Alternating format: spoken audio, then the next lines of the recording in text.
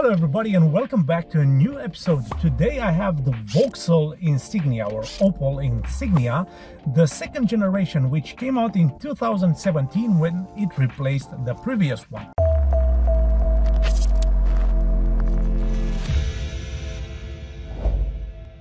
an affordable sedan that actually looks good, is very economical, you have plenty of space, and it has plenty of features. So you can understand why I found that car appealing.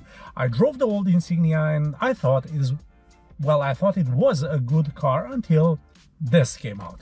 This one replaced it in 2017 and well, it got much better of course you get a new interior you get new engines and you get a lot of features on it as well but honestly i would have wanted to review the estate version of this one because uh, i find it even better looking than the sedan. I don't know why and well this is not literally a sedan. This is well kind of a, a hatchback limousine because the trunk doesn't pop like an ordinary trunk. So actually this is kind of a more like a of a hatchback.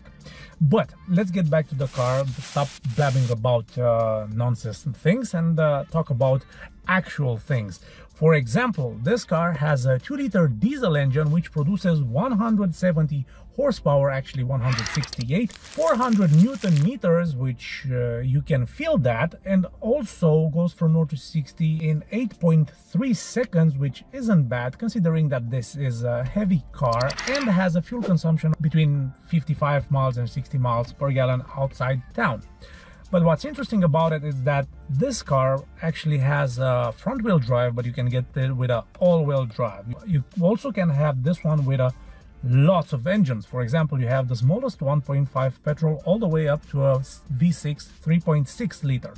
You can have a couple of diesels starting from a 1.5 and all the way up to a 2 liter version as this one is. Now, this being the SRI means that it's more better looking. It's more sportier and it behaves more sportier than the standard one and it looks much better. You have huge wheels on the side, which they look quite cool. I have to tell you that the wheels on this car actually look beautiful, but also not just the wheels. The whole car is beautiful, starting with the front end. Being such an aggressive car, you have the front end pointed towards the ground to give the car a very cool aerodynamic sense. The headlights look cool, you have LED daytime running lights, but on this one, you don't have xenon or LED, you just have simple lights that's it in the front bumper you can notice the fog lights which have been surrounded with this chrome finish and gives the car an elegant stance as well. So you have an aggressive front end but also with some stylish elements to make it a little bit more elegant. The bonnet looks cool. It has beautiful draw lines that emphasizes again the sportiness of this car. From the side you can see the sleek lines of the car and I do like it. Honestly, it looks a lot better than the first generation and it's competing head to head with the Ford Mondeo and Renault Laguna but this one actually looks a little bit more stylish than the Ford Mondeo. I don't know why probably appeals to me more than the uh, Ford. Now that doesn't mean that is a bad car but this one uh, I don't know. For me this one uh, seems much much better. The 20 inch alloy wheels actually gives this car a very cool look from the side. And well makes it sportier elegant and makes it well much more aggressive as well. On the rear end you have sleek tail lights. The rear bumper is aggressive. Also at the rear end you have a rear view camera which is shown in the infotainment system. Also you have the parking sensors and not there yet you have a roof spoiler to remind you that you're not driving a plain normal hatchback sedan. No, you drive the SRI version of Vauxhall and you have to be reminded of that. As well, you have the Vauxhall badge and on the right side you have the Turbo D, which shows you that this car is a turbo. Well, I don't know why uh, Vauxhall and uh, or Opel put this label on the cars because definitely well it's kind of the elephant on, in the room but still they put that on the rear end of the car. Regarding the whole design of the car is very futuristic very modern. I do like how it looks. I do like how it stands out because it stands out. The older insignia version was a little bit plainer and duller but this one actually is very aggressive and um, going against the competition against the mazda 6 the ford mondeo this actually looks quite quite cool. Regarding the interior well kudos here. The interior is beautifully designed. You have leather on the door side you have partial leather on the seats. The seats are very comfortable. In this version of the car you don't get heated seats. This one is very weird because it has an electric adjustment which lifts only the front of the seat and uh, well if you want to lift the seat you have a latch over here and you, you do like this which I don't know why. So the seat, you guessed it, it's not electrically adjustable, it's manual adjustable, but you do have good lumbar support and this is good. On the door side, you have leather, you have this beautiful aluminium trim right here, aluminium on the doors as well, on the door handle, aluminium right over here. And this looks like carbon fiber. It's not carbon fiber, but it does look like carbon fiber, which is interesting. Regarding the dashboard, I do like the fact that they placed a weird stitching here. The dashboard isn't covered in leather, but it has some stitching over here, which gives you the impression that it's covered in leather, which is not. It's odd, but well, it is what it is. The whole lines of the car seems like they hug you. This is this is the perfect thing to say. Actually, the whole car is directed towards you. You have this continuous line that makes you one with the car and this is a beautiful thing that uh, Vauxhall came up with. I know that in the Audis you have this uh, but uh, also in the Jaguars but this one it's much much better than I expected which is odd because usually I have high expectations and uh, I get disappointed quite easily. But with this one I said okay it's a Vauxhall. I know that they make good cars. So how interesting could that be? They make normal cars for normal people who don't are petrol heads and uh, they don't expect the car to be wild and I don't know quirky and interesting. But still this is actually a very interesting car regarding the whole elements of the car has high quality materials and uh, the sound isolation isn't that bad.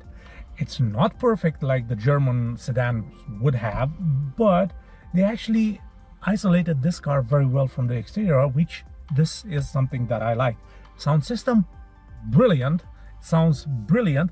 And you have plenty of room decent room here decent room here and uh, decent room in all the car. It's very spacious and I do like that.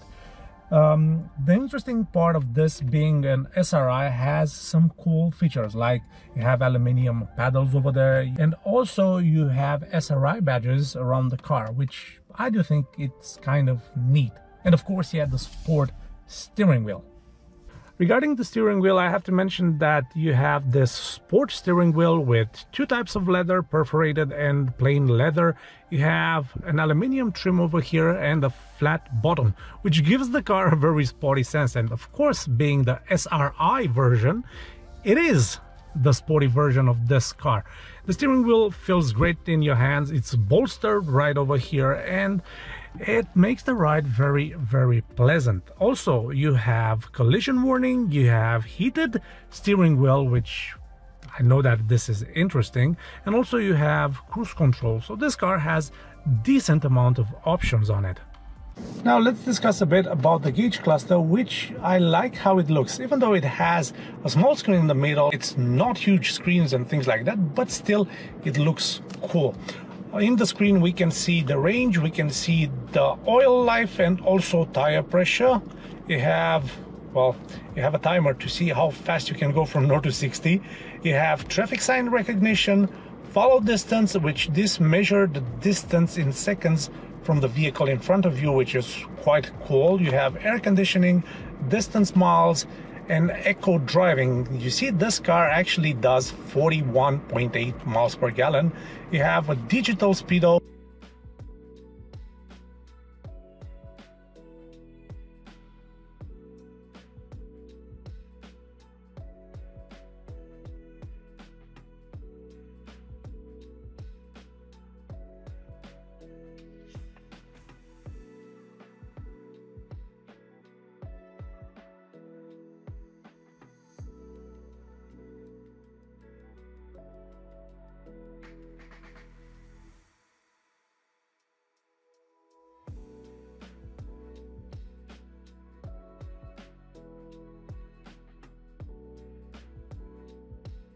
And well, that's kind of it.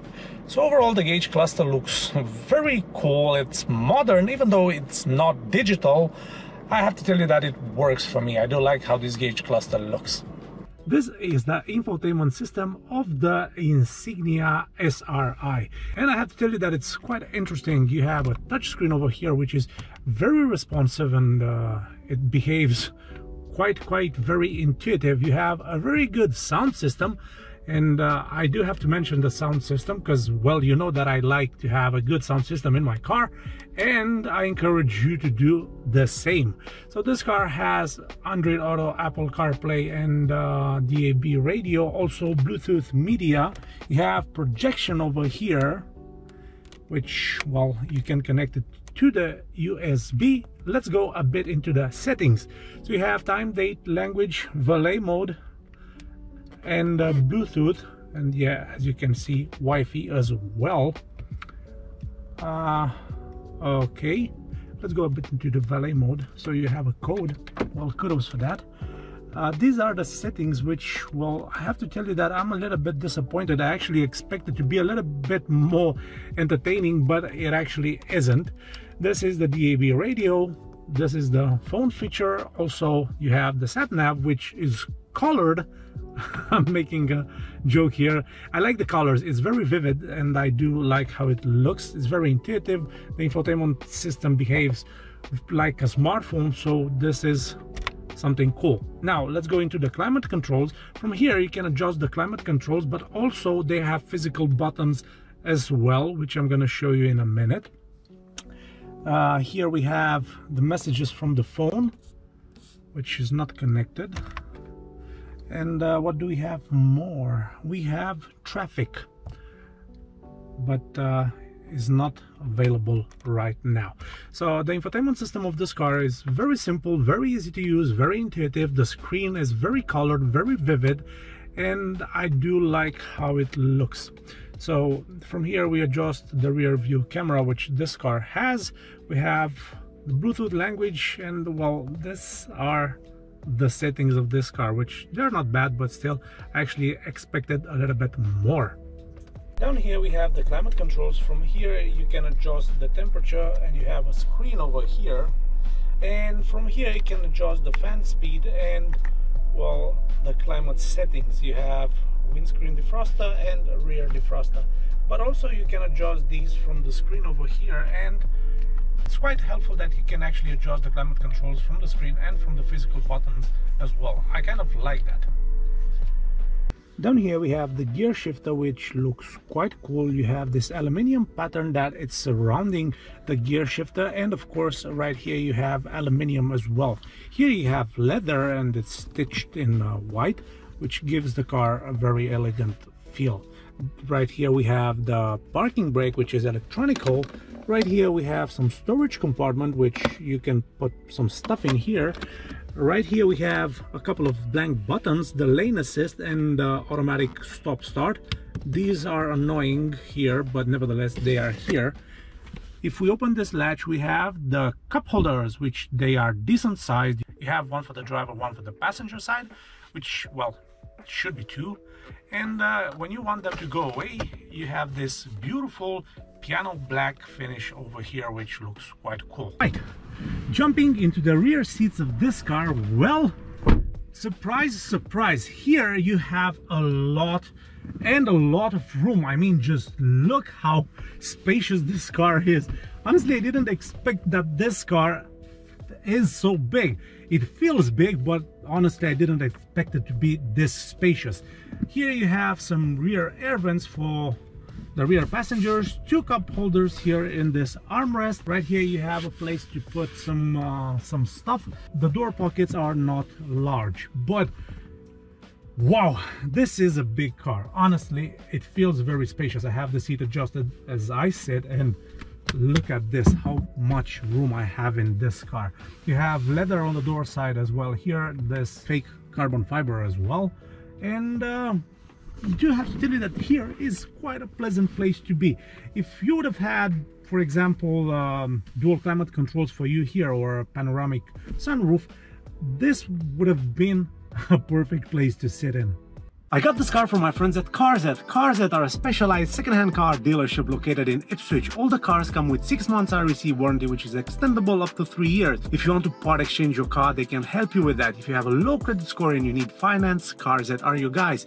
And if you want your car to be delivered all the way across UK, CarZet will do that for you. Also, they were awarded by Autotrader for their excellent customer service.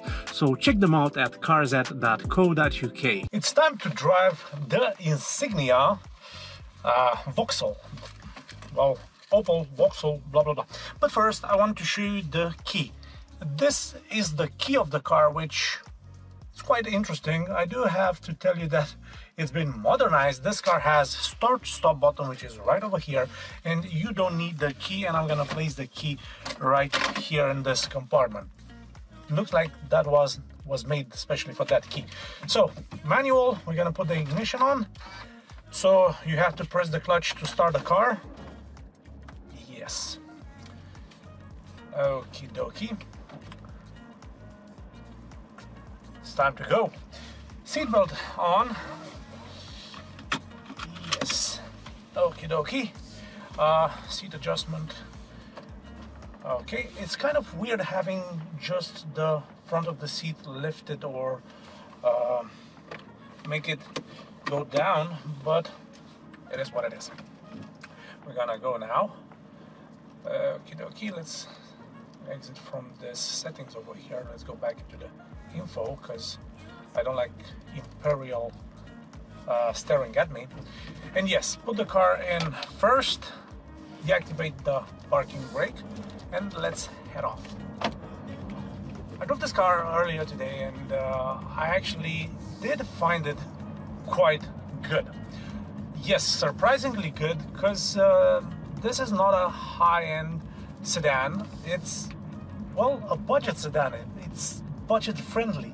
You have 2 liter diesel engine, you have a lot of gadgets, including heated steering wheel, included uh, cruise control, including lane assist and uh, traffic sign recognition, and the distance between you and uh, the car in front of you, uh, warning collision, which is, well, it's cool. Android Auto, uh, Apple CarPlay, cool sound system, uh, leather seats, and comfortable seats, even though these are not the most comfortable seats I ever sat in they are comfortable enough. Uh, unfortunately, they are not heated, and this is kind of a shame because they could have actually placed that, but still.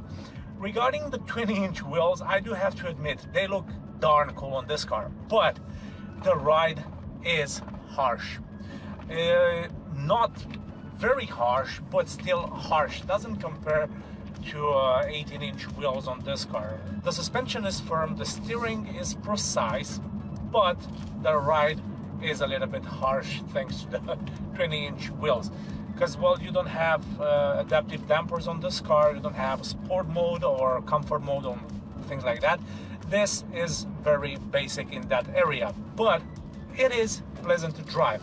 It is spacious and well you've seen how much room you have in this car.